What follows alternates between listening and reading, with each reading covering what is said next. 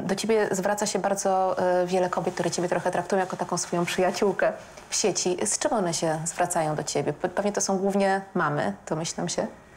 Dla mnie najbardziej takie, no, takie rozczulające są te chyba wiadomości kobiet, e, które, no, które są po przejściach związanych ze stratą ciąży. I to chyba są najbardziej takie, mm, takie, które wynikają naprawdę z potrzeby serca i takie, które e, znajdują e, no, ukojenie gdzieś tam w tych treściach, które się przewijają. I też staram się mm, na tym Instagramie bardzo podchodzić na luzie do wielu tematów, natomiast są tematy, które oczywiście nie, no, do których się nie da podejść zupełnie na luzie. To może powiedzmy, bo pe- pewnie też nie każdy wie, że ty też powiedziałaś głośno o tym, że to jest twoja...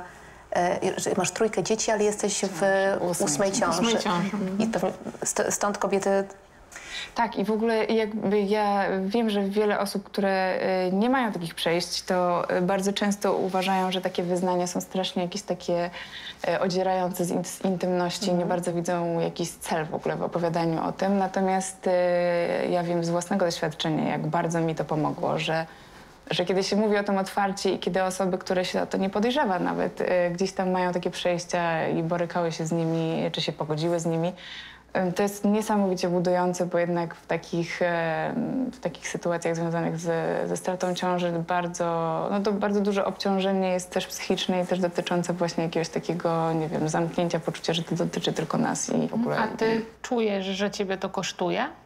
Nie, już nie, ale rzeczywiście był taki.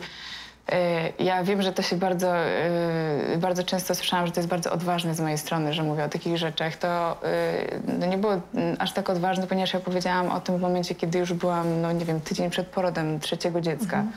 A do tego czasu nigdy w życiu o tym nie powiedziałam nikomu, w sensie publicznie jakoś o tym nie rozmawiałam i em, to jest coś, co się wydarzyło i co, e, co mamy za sobą i właśnie no, zakończyło się tym, że, że, że mam dzieci.